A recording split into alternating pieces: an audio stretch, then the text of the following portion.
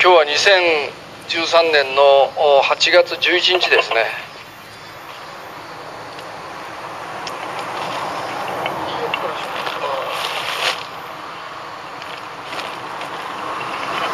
えー、先週の水曜日から、えー、4泊5日の旅行に行ってまいりまして、えー、金沢輪島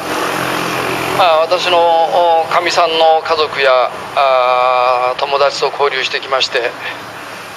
えー、土曜日は福井に行きまして、えー、そこで加山雄三のコンサート、えー、加山雄三の追っかけグループがあるんですけどもその深い、えー、ということで、えー、コンサートの始まる前と始まった後と2回まあ宴会がありまして。で、えー、昨日帰ってきましたということで、えー、まああ自分のライブで旅行する時には結構神経使うんですけども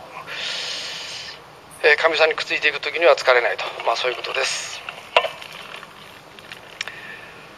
えー、今日は新聞が休みなので昨日の朝刊ですけれども朝日新聞の2面に、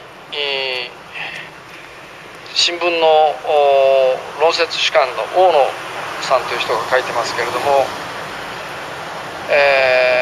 拷問についてですねフランス人のジャジャーナリストがあ自分があアルジェリア植民地批判支配を批判している左翼系現地紙の編集長編集長だった頃にあ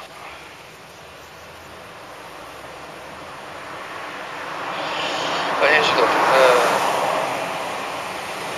そういう時に自分がフランス軍に捕まって拷問を受けたというまあ気が狂いそうになったほどのひどい拷問を受けたという話で。で、えー、12年前にもなんかそういう話があったのかな。フランス軍が、まあ、拷問をやっていた。この拷問に関していろいろ書いてるわけです、えー、拷問が是か非か、えー、オサナオサマ・ビン・ラディンの隠れ家を見つけたのもテロリストを水攻めにして、えー、吐かせた。それによってまああ何万人かが爆弾を仕掛けられて死にそうになったのを食い止めたということです。えさらにまあ日本の今度の自民党の憲法改正案では、えー、日本国憲法では拷問は絶対にやっちゃいけないというふうになってるんだけどもそれを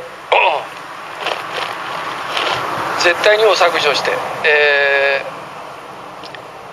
ー、まあ結果的にはやっていいようにしようということですね。まあ、けしからんことだと私は思いますよ。え例えば爆弾を仕掛けたあ場所を突き止めるために捕まえた犯人を拷問して吐か吐かせれば大勢の犠牲者を救えるのに拷問しなければそれらが死ぬような場合に拷問することが是か非かという。こういうことを書いてあるわけですけども私はこの拷問を是とするようなものの考え方がですよ。何万人も爆弾で殺そうというような人間を生み出すんだ。そう考えなきゃいけないわけです。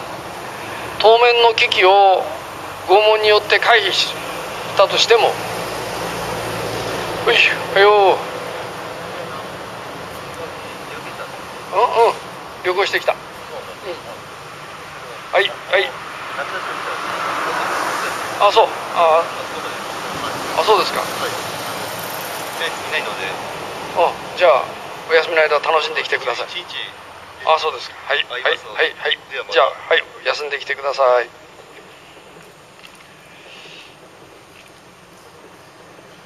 だから当面の危機を回避するために拷問を容認するという考え方がですよ。拷問是とするような考え方がテロを生んでいるんだ。そういう考え方に基づいていかなければいけない。本当に賢い人たちはそこに気が付くんだろう。そういうふうに思いますえー、から新しい本で歌を紹介しながら歌っていきたいというふうに思います。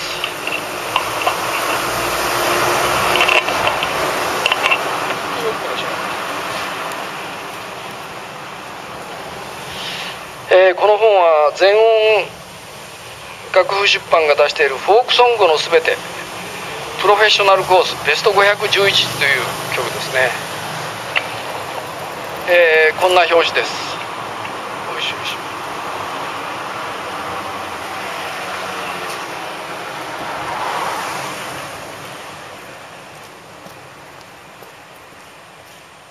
だいぶ知ってる歌も入ってるんですけども聞いたこともないような歌ででフォークソングともなるとフォークソングって言ったっていろいろポピュラーですね、えそういう曲になると歌詞の割り振りがすごい複雑でちょっと楽譜を見ただけでは歌えない曲もいっぱいありますけれども、まあ、そういう曲は まそれなりに、まあ、飛ばすかもしれない。それから今度の本はコードが書いてあります。前の同様にはコードが書いてなかったし、えー、メロディーを正確に歌おうと思って、えー、メロディーをギターで弾きながら歌いましたけれども今度はコードも交えて、えー、弾いてみたいと思います、えー、ナンバーワン1曲目は若者たちですね。これも私たちが若い頃歌声喫茶なんかで歌いましたね。1966年がコピーライトなんで私が沖電機に入ったのが69年。66年から69年までというのはまさに学生時代後半で歌声喫茶なんかでこれが歌われました「えー、ザ・ブロードサイド・フォー」が歌ってるこれどんな人か知らないね。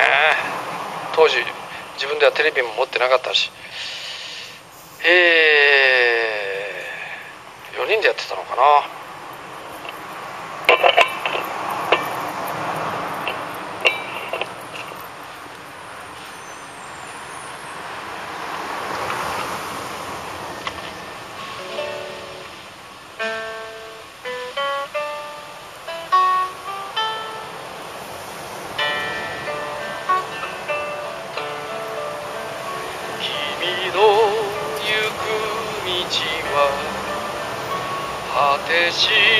なく遠いなのになぜ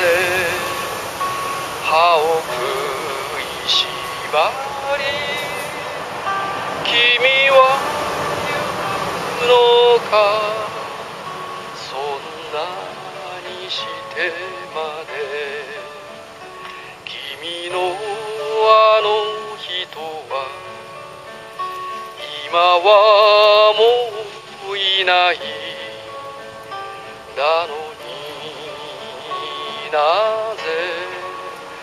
何を探して君は行くのか？あてもない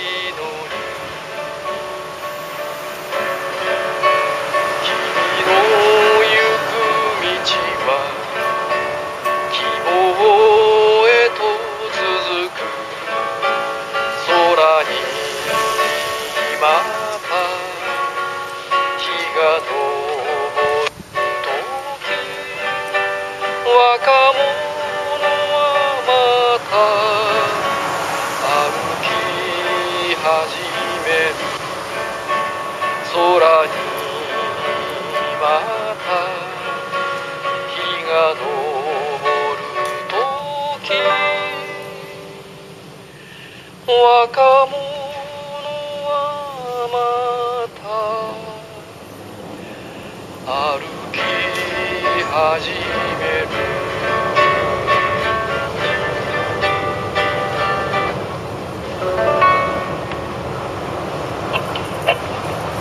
いうことで今日はこれくらいしておきます。